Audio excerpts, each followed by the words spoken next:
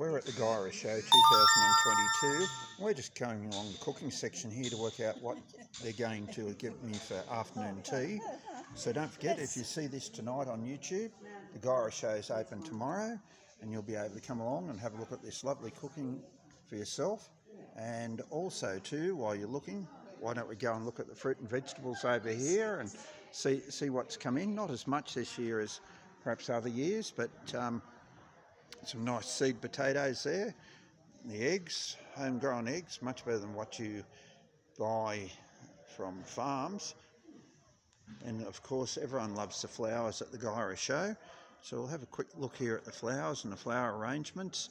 Roses are one of my favourites, so let's have a look around here at the roses. Some beautiful roses, different varieties. Floribunda, a little old style ro English roses, and of course these lovely pink roses here that everyone seems to like. We've got the art section in the main pavilion, so there's lots of things to see at the Guyra Show 2022. Bring yourself along tomorrow, Saturday the 20th of February, or if you get this in time, come along tonight, Friday night.